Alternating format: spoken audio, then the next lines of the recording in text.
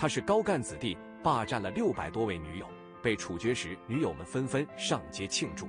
大家好，欢迎您关注硬核王探长。世界太拥挤，心里太空虚，城市的喧闹始终不属于自己，想到你，心里就会充实。愿订阅王叔的朋友幸福平安，快乐每一天。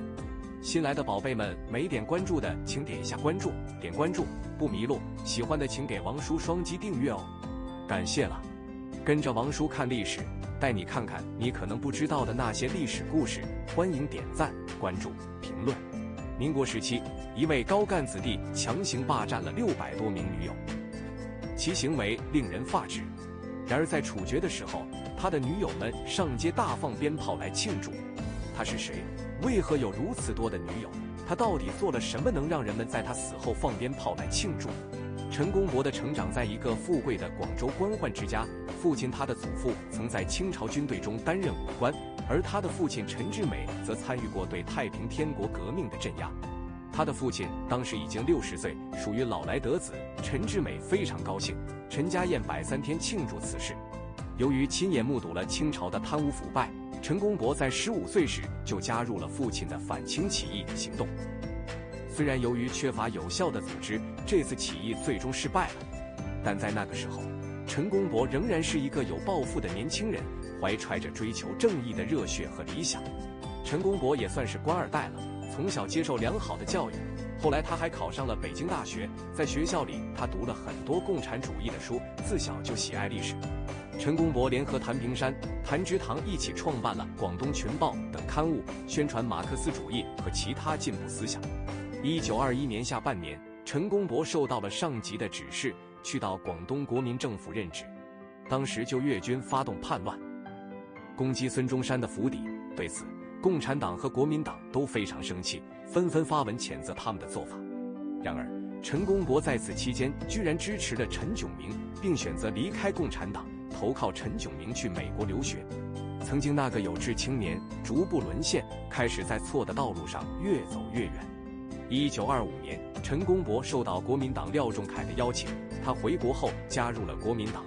陈公博还与廖仲恺、汪精卫建立了关系，汪精卫还让陈公博坐到了中央执委的位子上，在国民党里混得无比顺利。当时蒋介石也想拉拢陈公博，让他在湖北新政府内担任要职，后来又搞到江西主掌大权。当汪精卫企图宁汉合流时，陈公博成为他最大的支持者。在抗日战争爆发后，陈公博和蒋介石一起对付日本侵略者。汪精卫此时却是投靠了日本人，陈公博对此非常生气。他以为之前汪精卫和日本人搞小动作是为了获得政治筹码，但是现在国家危难时刻，他竟然投靠日本人。陈公博和汪精卫大吵了一架，最后谁也没有说服谁，双方不欢而散。但是陈公博还是被打了脸。他思前想后，都觉得日本实力比中国强太多，早晚会吞并了中国，在那里有更好的利益可谋。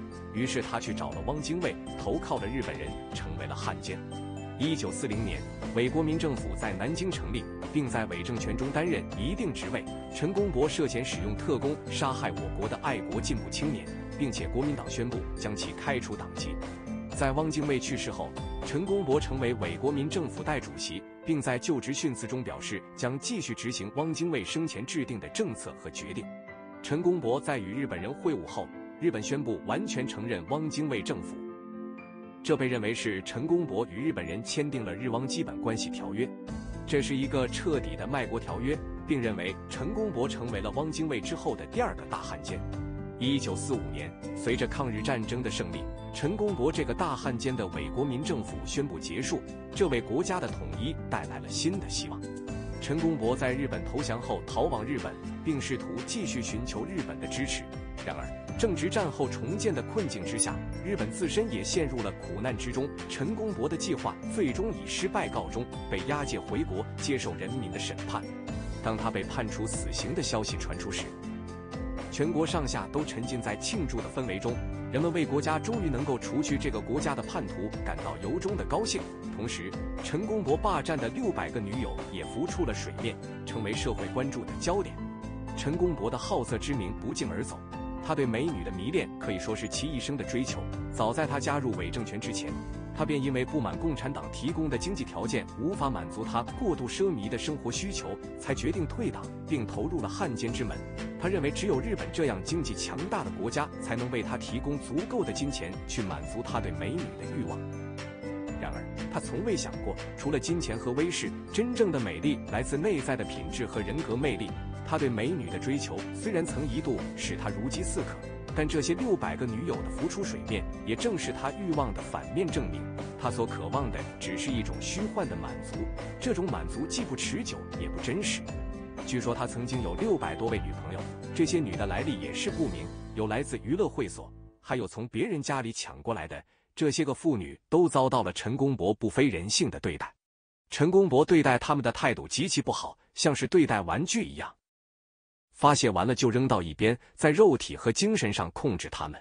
陈公博一表人才，看起来风度翩翩，又有万贯家财。女人对他来说就像衣服一样，看中了就要想方设法弄到手，腻了再换下一个。曾经一些女人们试图反抗他，但最后的结果只会是陈公博的手下一枪崩了他们，甚至都没人来收尸。剩下的女人们见状，只能默默忍受着，不敢再反抗。他们只能屈于陈公博的淫威之下，常年的隐忍让他们对陈公博恨之入骨。在陈公博被执行枪决时，他们才真正得到了解脱。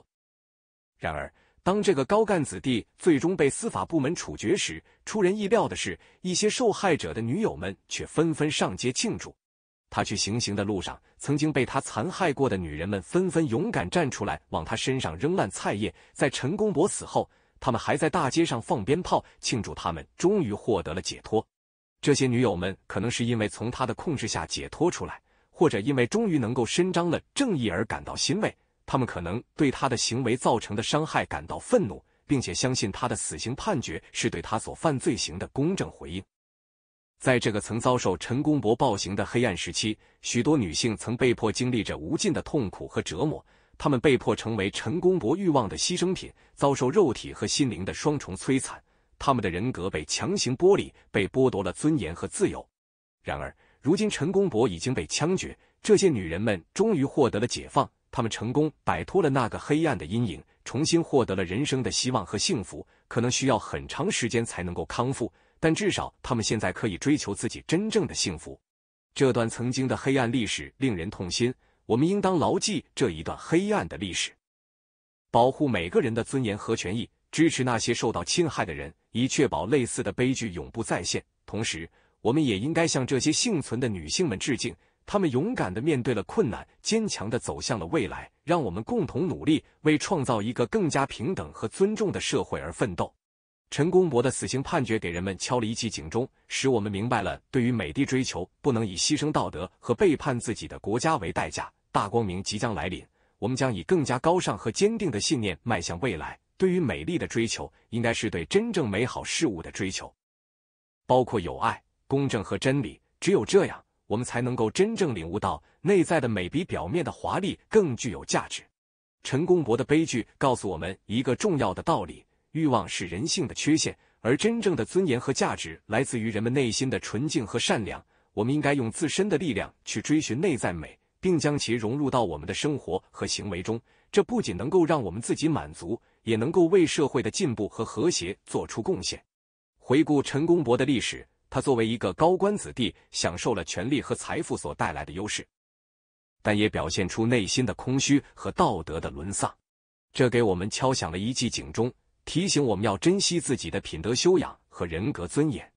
这段历史提醒我们，无论身处何种环境或拥有何种特权。我们都应该保持良好的道德和伦理观念，并坚守自己的价值观和原则。权力和财富并不应成为我们追求的唯一目标，而是应当与品德和人格的发展相辅相成。对妇女进行残害，并通敌叛国，最终导致他自己美好前途的毁灭，他的死刑判决是罪有应得的。而背叛祖国的人将受到人民的唾弃和永远的耻辱。对此，大家觉得怎么样的呢？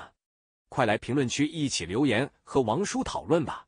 为了您更好的阅读互动体验，为了您及时看到更多内容，点个关注，我们将每天为您更新精彩故事，分享不一样的故事瞬间。